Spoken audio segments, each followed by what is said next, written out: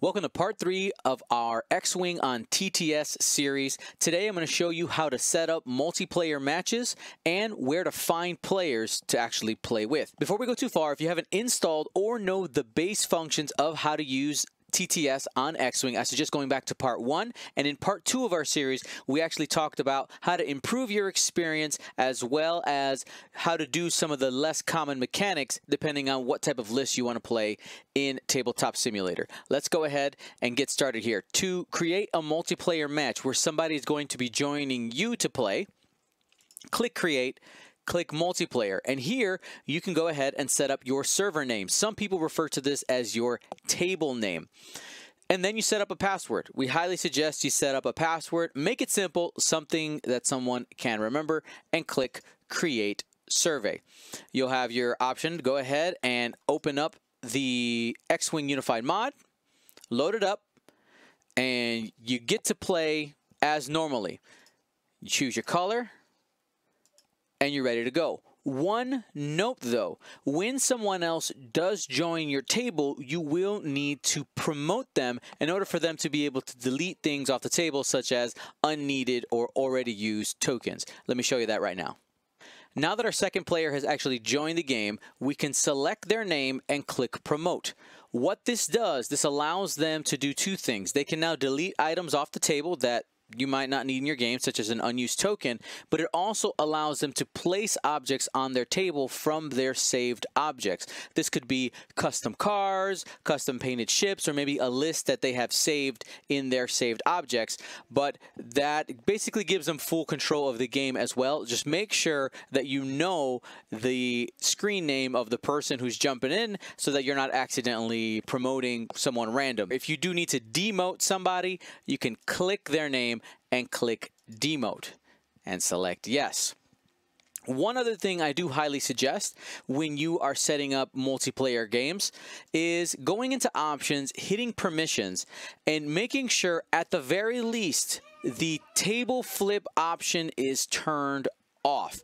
This is so that people who are joining the table cannot just come in randomly and click our flip table button, which does destroy the game, obviously. What about Control Z? Can you undo what just happened? Yes, I could click Control Z, but what happens, according to the developers, is that you will see the table return once I click Control Z. You'll see it starting to reform itself.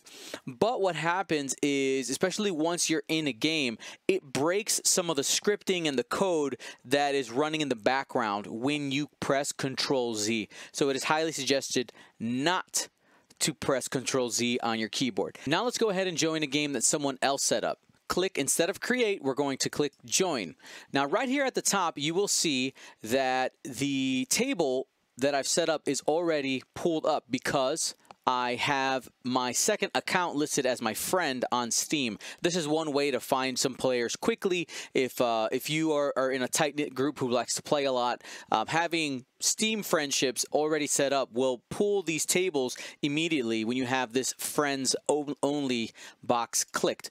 But normally it'll just look like a long list you might need to search for the table name, especially if you're playing in a large event like we do here at Gold Squadron. Uh, a lot of the tables will be formatted this way as a number. So GSP 2 oops, I put three, GSP2, you click on the server, you can double click or click connect here, and now it will prompt you for the password. The passwords are case sensitive. So the password for today is Delta. We're gonna click OK. It's gonna connect. And basically, it's going to look like what it always looks like, except we no longer have the crown. We're currently on the Gold Squadron podcast um, account right now. We saw that blue was open instead of red, and now we can play. We can still spawn a list from the spawner over here. We can actually even pull out tokens and things that we need. But like we said earlier, without being promoted, you won't be able to actually delete items that you no longer need. And you also have those permissions turned off. You won't be able to bring in other objects or start other games unless you're promoted. If I go over here and get our current account promoted, you will see that those permissions did show back up and um, you can now delete items off the table And once you're promoted, you are 100% ready to go, and it's time to play X Wing.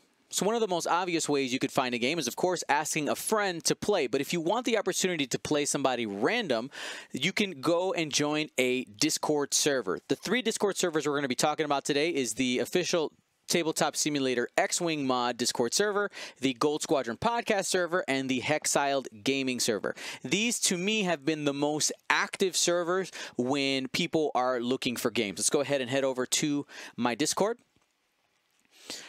You'll see the three channels are right here, TTS X-Wing, Gold Squadron Podcast, and Hexiled Gaming. But you can see right here, looking for game, and people are simply looking for games. What happens a lot of time is people will just private message them. They'll go ahead, click the name and just send them a private message saying, hey, I'm, I'm ready to play. And then you guys can share the server information. Sometimes people even do what this player did, uh, did right here. They have a game up and running and they will just leave it open with no password. Again, make sure you have those permissions set up so you don't have any uh, anybody coming in and just flipping your table. On the Gold Squadron podcast server, you will find it under the community tab. We have a looking for game for Vassal and TTS. So right here, you see people looking for games. And on Hexiled Gaming, same thing.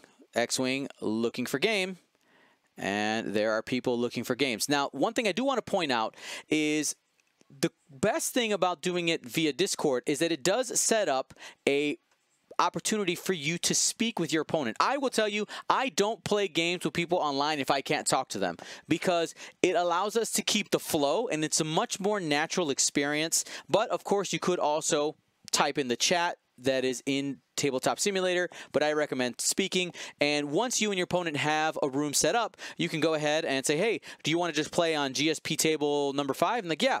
You go ahead, click on the table, and you speak to each other. And it's really that easy. And lastly, if you're looking for more competitively driven play, you can join some type of event. A lot of groups host weekly leagues. Our good friends at Hexiled Gaming are currently running their Kyber Cup Championship, which is a league style one game a week event series.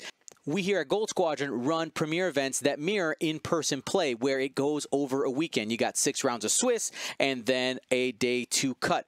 Right now, we're actually taking signups for our Gold Squadron Flight Club Championships. We got four qualifiers, and depending on how you do in those qualifiers, you place in a specific championship level event. We'll basically have three different champions, which is going to be super fun. You can check it out, goldsquadronpodcast.com.